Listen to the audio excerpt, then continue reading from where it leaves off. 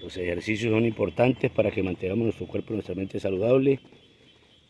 En cualquier país existen estas máquinas en los parquecitos. Así que solamente es que tomes decisión de hacer ejercicios en la mañana, mediodía, en la tarde, en la noche. Cuando te quede tiempo, acompáñanos desde Silo de Cali, Colombia, a hacer estos ejercicios para mantener nuestro cuerpo y nuestra mente saludable.